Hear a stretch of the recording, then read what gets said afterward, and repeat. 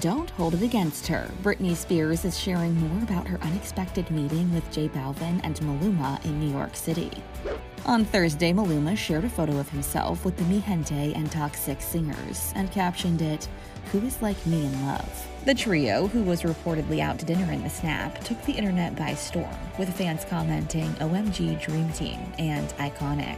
But Britney is now seemingly admitting she wasn't familiar with the popular musicians before their night out in New York. Quick trip to NY. I had no idea who these boys were at this restaurant. Three eye roll emojis, three laughing crying emojis, three wink emojis. Hashtag the woman in me, she wrote in the caption of her own post later that day.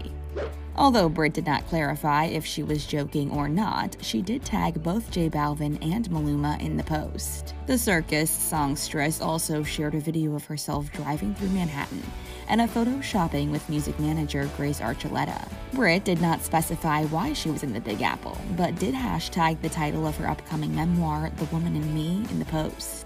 In February, it was revealed that the Crossroads singer reportedly signed a multi million dollar book deal for a tell all which is expected to be released on October 24th. Britney's trip comes just months after news broke that she and her husband, Sam Asghari, are getting divorced. A report from DailyMail.com cited that an insider close to Britney alleged the singer was suspicious that Sam was secretly giving her estranged father, Jamie Spears, details about her life. The source reportedly claimed to the outlet Britney has reason to believe that Sam was secretly working with her dad, Jamie, since early on in their relationship.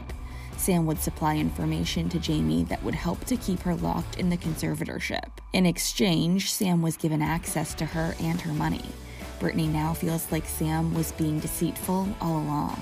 However, a source close to Sam told Access Hollywood the rumor that Mr. Asghari was feeding information to Mr. Spears is not true and cannot be substantiated. Access reached out to reps for Britney, Jamie, and Sam for comment on the claims. The former couple separated in late July after nearly 14 months of marriage, according to divorce documents filed by Sam on August 16.